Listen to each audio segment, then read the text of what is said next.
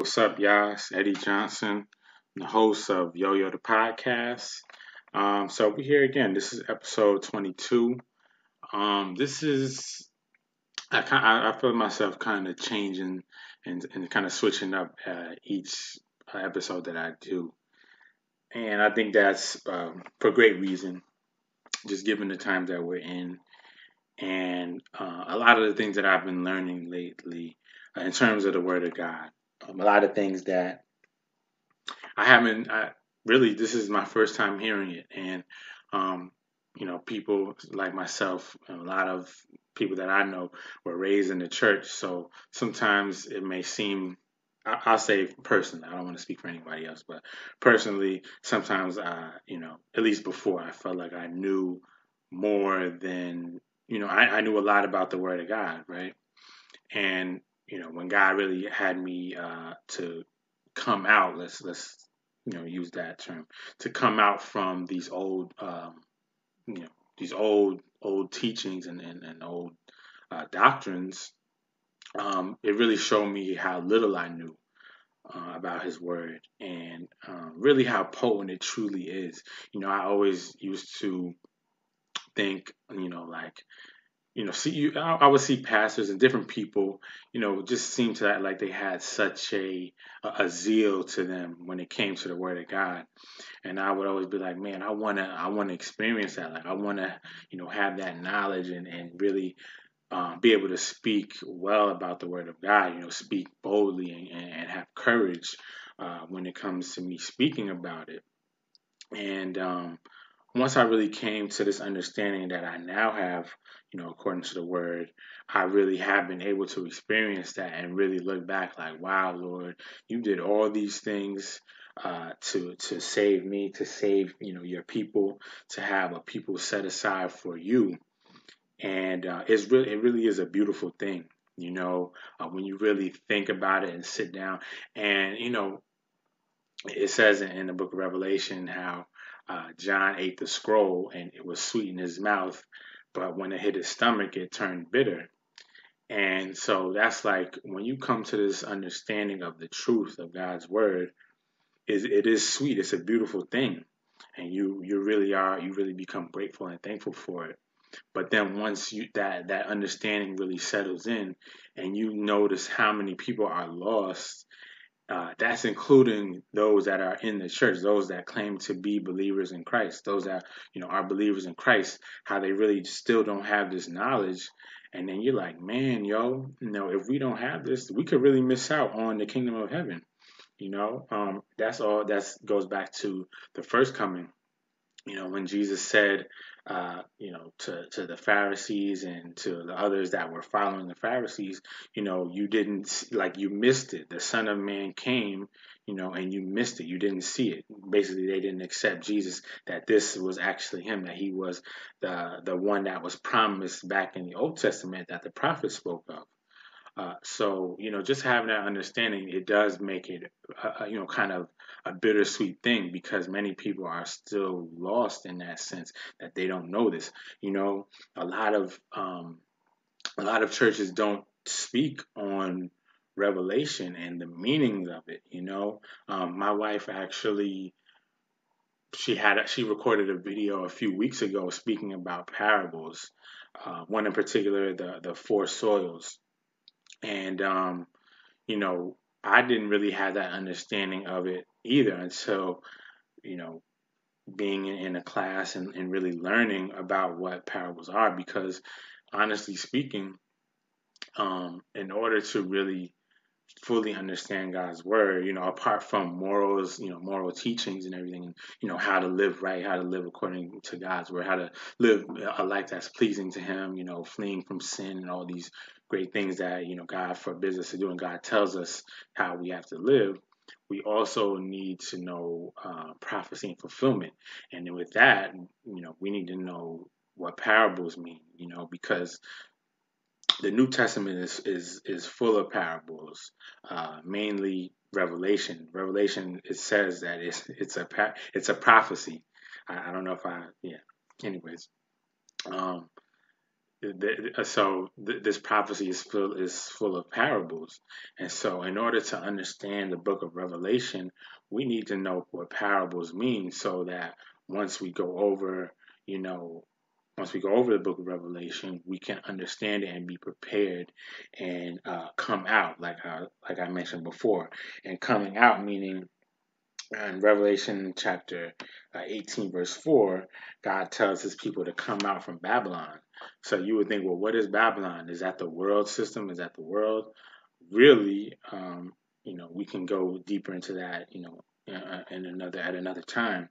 But really, that is the church um, because they have uh, also in Revelation they have drank drunk drinking drunken excuse my language but they have drank from the uh, cup of the wrath of her fornication her being the prostitute. Um, and so meaning they've you know drank you know or, or uh, taken in these false teachings, you know, and false meanings unknowingly. You know, when when a person is drunk, what's the first thing that they say when you tell them, "Yo, you're drunk. You need to chill." No, I'm not. I'm not drunk. You know, so you don't. We don't. We. It, it's hard for us to know that until someone points it out to us. And this is not, I don't want to sound like I'm coming from a place of me seeming like I'm better than someone else. This is coming from a place of knowing where I was. You know, I was drunk with this, uh, with this cup of wrath, you know, and, um, you know, I was uh, uh, in Babylon getting these false teachings. And again, it says that all nations have taken part of that. You know, the Bible says that. So that means everybody. That that's including the church, and that's why God tells us to come out and um, come out from you know come out from Babylon to go to where He is, which would be Mount Zion. Again, this is all this is all biblical. This is all in the Bible. So again, I always like to say, don't listen to me. Go look it up for yourself. You know, be like the Bereans that heard someone say something in reference to the word and they went back and examined it to see if it was actually true.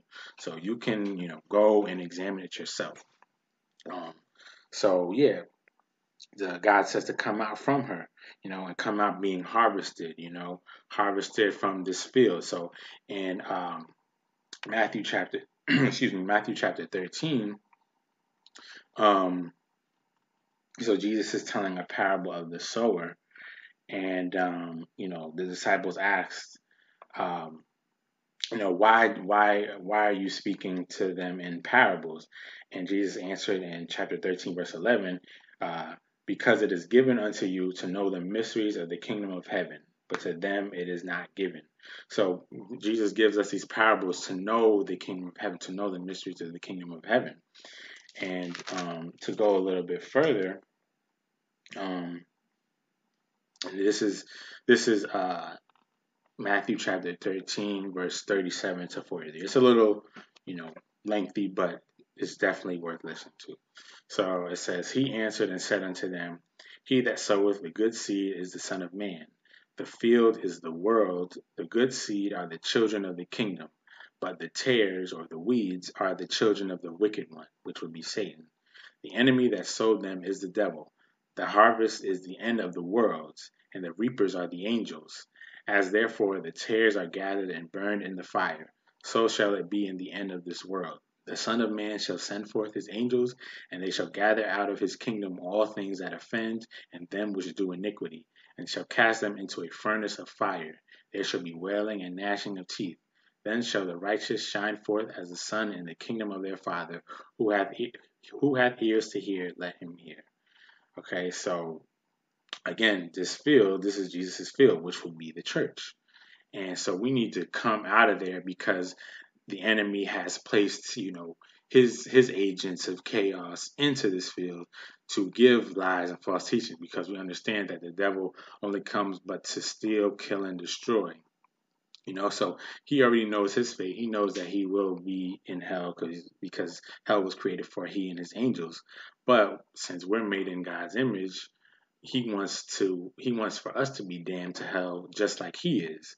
So that's why, you know, he placed his people into the church to give false teachings and false doctrines and, and everything like that. And we can we can name drop here. You know, I like doing this name dropping because the Bible says to expose them. So you got your people like Joel Osteen, you have T.D. Jakes, uh, even these you know newer pastors, Mike Todd, Stephen Furtick. Um, you go you know to the uh, the, the, older guys, Benny Hinn. Um, Kenneth Copeland, all these guys, there's a bunch of them out here. And maybe even some of your local pastors, maybe, you know, some of them know what they're doing, or maybe they don't know what they're doing, but they're still giving false teachings that come from the enemy. So that's why we have to uh, really have God's spirit. We really have to have uh, the spirit of discernment to know um, to know what word is which. You know, to know who who we are getting our word from. Is it from the Lord? Is it the word of truth, or is it from the enemy? You know what I mean? So uh, it's just so important for us to, again, to understand parables. So if I didn't understand these parables, I wouldn't know what this was about, you know, and most people wouldn't know either. So that's why people are like, man, I just can't understand the Bible. Well, number one, we need to have the Spirit, you know, we need to have God's Spirit to help us interpret it. And then also we need to have understanding of the parables to know, because I know for myself, you know, I have, um, I have thought about the the book of Revelation and just the word revelation, um, I would you know kind of be afraid and, and not want to open the book. But really, we we need to know this because this is really about salvation right here in, in the Revelation. This is our salvation, you know, to be taken out of the world into and you know in, in the world system and these churches that now belong to Satan because again he's placed his people in and they're in charge and in here giving these false teachings you know. So we need to get out of there and go to where God is you know go to where Jesus is which is Mount Zion you know. So and again you know I just want to I, I actually wrote something on uh, Facebook you know after my my wife made the video and then I saw this post and then it just brought to mind and I knew this is what the Lord wanted me to to speak on. But I said, in order to truly understand the Bible, we need to have an understanding of the meaning of parables. The Bible is covered in parables, especially in the New Testament, kind of what I said earlier, and more specifically the book of Revelation. And for our time, it is the most important prophecy to be made aware of and prepared for, since we are indeed living in the time of Revelation. And I said, no need to be scared, just a time to be prepared and really a time to rejoice because we know the return of Jesus Christ is truly near. So we need to pray and ask God for true understanding of His word and receive the other comforter, which is the Spirit of truth that Jesus promised to lead us into all truth of His word and be a part of the harvest of God's chosen people. So harvest is the main word, okay? A lot of times, you know, people would say the rapture, and I'm, I'm guilty of it too. I used to have that understanding, or I thought I, this was the right understanding of it, you know, being the rapture. But really, truthfully speaking, we can't find the word rapture in, in, in the Bible, but we find this word harvest, and that is pertaining to the body of Christ. We need to come out from these false teachings and uh, go to where God is, where He's given this word of truth, where He's given us this open word, right? And then also, uh, this in, in, in reference to this uh, this uh, comforter or the spirit of truth. In John 14 verse 15 to 18 it says if ye love me keep my commandments and I will pray the father and he shall give you another comforter that he may abide with you forever even the spirit of truth whom the world cannot see because it seeth him not neither knoweth him. But ye know him for he dwelleth with you and shall be in you. I will not leave you comfortless. I will come to you excuse me. So Jesus does promise to give us this comforter, the spirit of truth. And when we receive that, and we and you know the Lord leads us into all truth, you know, into His Word and the truth of His Word, we find that comfort, you know, and that uh, assurance that no matter how crazy things are going on in this world, um, no matter you know how many and what these false pastors and false prophets are talking about, if we have this word of truth, there's nothing to be worried about. You know, we all good. Um, my wife and I actually watched. Um, this is this happened in 2019. It was um, about Kirk Franklin. You know, there's a lot of stuff you know going on about him now, but it's kind of it's it's funny that this came up. You know, during the time of everything going on with him, but um, he had a concert, and a bunch of people are going there, right? So you had this this one street pastor, street preacher, and he's really telling the people the truth you know, and telling them like, yo, he doesn't care about your soul. He's just taking your money. He's not preaching the truth about anything. You know, his songs had nothing to do with the word of God, nothing to do with truth. It's really all about him and about his money, you know. So, you know, you guys need to, you know, come out of it because the Bible says, what fellowship does light have with darkness? You know, so why and then is he was talking about how he was if Kirk Franklin is a regular at the BET Awards and you would think having that platform, um, why not use that time to tell people there, the, the musicians there, and even the viewers, yo, you know, you need to repent, you know, because the Lord is coming back. Um, you know, all these things, this is the enemy working, you know, uh, all the, the music with the killing and murdering and all these things. This is all uh, in, in defiance to the Lord God, you know. So but Kirk Franklin doesn't do that. Nor nor does a lot of the other gospel quote unquote. I put that in quotes quote unquote gospel artists because realistically, you know who who they work for. They work for these big labels. You know, uh, their budgets, their their paychecks come from these big labels that run the secular artists. You know, that that manage the secular artists. So they can't. They can only do but so much. And again, the Bible says it what fellowship does light have with darkness? You know, we're supposed to be separate. We're supposed to be the salt of the earth. You know, we can't be lukewarm. You know, because again, Jesus says, if we are lukewarm, then He will spit us out of His mouth. We're no, we're of no use.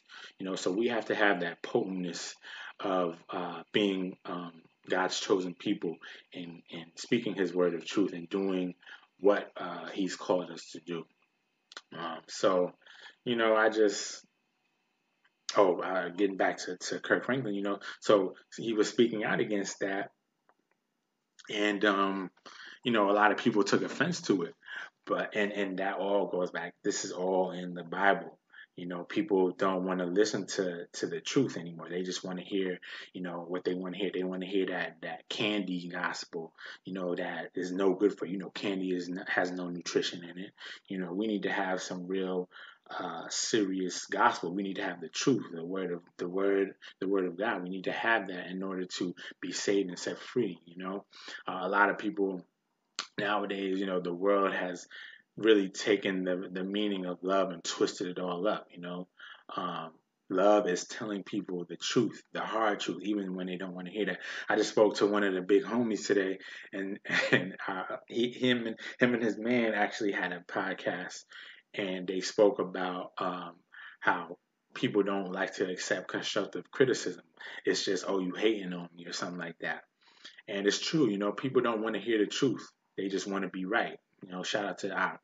Um, they just, they just, they don't want to hear the truth. You know, uh, love and the world's definition of love is just being, you know, tolerant of people. Like you seeing people doing something dumb and doing something that can hurt them, but not saying anything because you don't want to, you know, what everyone says, you don't want to judge them and all that nonsense. Man, if you're my friend, if you're my people, if you love me, I want you to tell me the truth. Tell me what I'm doing wrong so that I can be better, you know? That's what it's all about, you know, um, especially in the body of Christ. An open rebuke, you know, um, what, what does the Bible say? I'm paraphrasing um, a, a, a, wound from a friend is better than a, than than a kiss or something like that. Basically, you know, when a friend tells you something that may hurt your feelings, but it's true, and he's doing it out of a place of love, that's so much better than someone just rubbing you and patting you on the back. Oh, it's okay, everything is fine. You know, we don't need that. We don't. That's that's nonsense. You know. Um, but yeah, man, I just um, I kind of jumped around a little bit, but you know, I know that this was something that needed to be said. Um, you know, let's it's time for us to really understand the word and and um, come out from these false teachings and uh, these false doctrines and false pastors and all these things, these false churches. You know, I've had to do that. It is a diff- definitely a difficult task, but it's so necessary, man. Um, at the end of the day, this is our soul at stake and we need to really buckle down. And you know if we want to partake in the kingdom of heaven we need to really uh, be right and be ready you know? Um, i always say it ain't too late until it's too late you know? So now is the time. Um, you know god has given us this opportunity. Everything that's going on we gotta see, you know, God's hand in it all. It is his his hand is definitely in it, and this is a chance for us to really get our minds right, get our souls right, our salvation right, and um, really be separate and really be harvested. You know. Um, but yeah, guys, I just I just wanted to share that with you. Um, I just hope this this was this was a blessing to you all. It definitely uh, blessed me, and um, I'm just grateful to be here. You know, I'm grateful that God has allowed for me to speak like this and speak truth without you know holding any punches. You know, because we need to hear this, man. You know, forget about people, you know, lying to you or, or not telling you the truth because they don't want to hurt your feelings. You know, the truth needs to be spoken. And realistically, when it comes to the word of God, if you get mad at someone for telling you the truth that is the word or you know telling you to repent telling you that this lifestyle is not right and it's, it's contrary to the word of god you're not mad at the person for telling you because we just the vessel you mad at god that's something that you have to deal with him about you know and um, who are you to be upset with God? You know, He's giving you breath in your lungs, you know, to for you to be able to, you know, take this opportunity to repent. You know, so it's it's time to it's time for us to use our brains, you know, to use common sense and to just, you know, really examine ourselves, examine our hearts and really get back to the Lord, you know. Repentance is key, especially in these days. We need to repent from all of our sins, all the lifestyles that we're living in. You know, it's a hard thing to do, but it's so necessary. And you know, Jesus is forgiving. You know, that's the beautiful thing about it. He forgives, and He wants us to come to Him and, and repent. You know, so that He can uh, dust us off and clean us up and make us new creations. You know, we can be new creatures in Him. You know, so yeah, man. I just I thank you guys for listening, and um, I hope this got this bless you guys. So again, Yo Yo the Podcast. Find me on yoyothepodcast.com. Um, I'm on all major streaming platforms. Also, shout out to the hosting site Spreaker, Spreaker.com. You can find me on there too. And um, yeah, you know, shout, shout out to, to to you guys, and I appreciate you guys for listening. And um, I just hope this bless you. So, again, Yo Yo the Podcast. You have a blessed day. Peace.